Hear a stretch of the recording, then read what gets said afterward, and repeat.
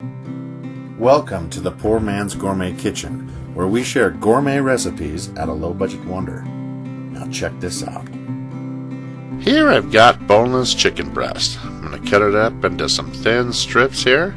That's right, we're cutting it up into thin strips. It's not your traditional ground and pound beet or meat recipe. We need ground chicken. So here I've got eight boneless chicken thighs. I'm going to take each one of these, roll them open, feel around on the inside for possible left bone, and we'll cut each one of these in half as well.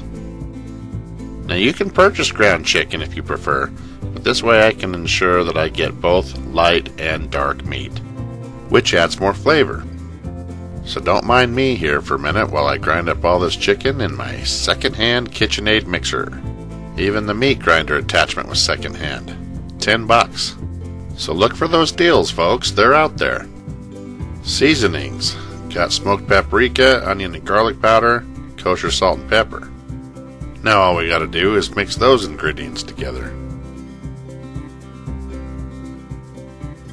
In the meantime, I'm going to go ahead and get some Swiss cheese sliced into quarter inch to 3 8 inch slices. And here I've got some deli sliced ham. Just lay down two slices with a Swiss cheese chunk, fold it over into two flops, and there you have it. Getting ready for our cordon bleus. Now on some wax paper, I'm going to throw down a scoop of that meat mix. Fold the paper over in half and press out a patty and you're looking for about 3 eighths of an inch in thickness here. And you want it more egg shaped than you want it round. You're going to need two of them for a top and a bottom. Now, whichever patty is the biggest, I'm going to lay down our ham and cheese right in the center and then very carefully lay the other patty over the top. Now, you newbies might want to use saran wrap. As you see, we got a little extra on the side. You can technically cut that out if you like, but it's kind of a pain. I like to just fold in the wax paper and press that meat back into itself on all sides. Without using a mold of some kind, this is the only way I know how to do it to make them all uniform. Then you should be able to just peel it off the paper and lift it up and just pat it on all sides, make sure it's exactly the way it should look, completely enclosed. Then just go ahead and throw it down on a cookie sheet. And then once you've got one of these all the way filled up, you can take it straight to the freezer and freeze for 45 minutes. In the meantime, we're going to need an egg wash, so a few eggs and some Louisiana hot sauce. Just like my number one fried shrimp recipe here on YouTube. By now our patties should be frozen, and they're not frozen all the way through, it's just to firm up the outsides makes it easier to go ahead and dunk into the flour and get our breading going. The flour is the most important part to make it stick here with the egg wash. It turns into a paste when you add it to the breadcrumbs. Then the crispy crust won't crack and fall off once it's cooked. Just be sure to get all sides. Toss it in a bowl, shake it in a bag, whatever your thing is, just do it well and it should look something like this. Now just put it back where you got it, rinse and repeat. Once you got a full tray ready to go, you can either bag it and tag it, freeze it all over again and save it for later, or put it straight in the oven and bake it 375 degrees Fahrenheit for about 45 minutes. In the meantime, I like to make a gravy, so I'm going to throw some butter in a hot pan, add some freshly chopped garlic, Come on now, get out of there. Now I'm going to add some heavy whipping cream.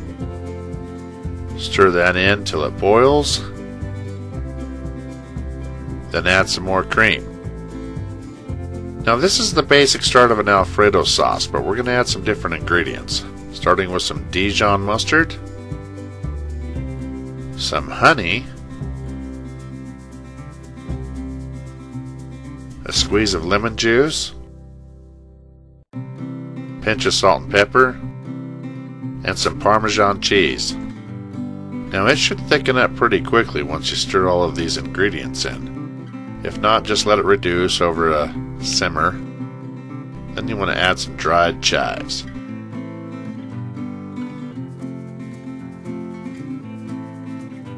Then, of course, give that a taste and make sure it's to your liking. Then just remove it from the heat. By now, our chicken should be done. And it looks like I just might have sprang a leak. But that's a good sign because it means we cooked all the way through. But let's be sure and cut this one open for you.